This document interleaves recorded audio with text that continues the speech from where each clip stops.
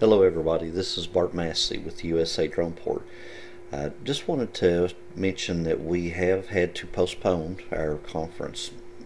It's not been uh, canceled, simply postponed, but in a time of concern like we have right now due to the coronavirus, we want to give you something uplifting and we want to be uh, positive and also promote what we've been doing.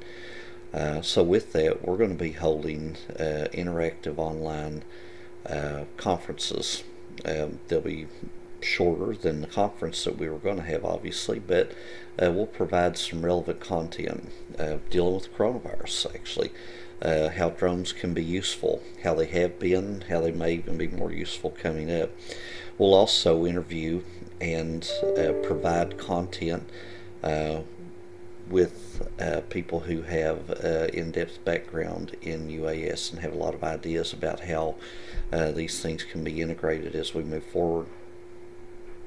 These are just a few possibilities, um, but we want to invite you if you have any suggestions or would like to participate to let us know.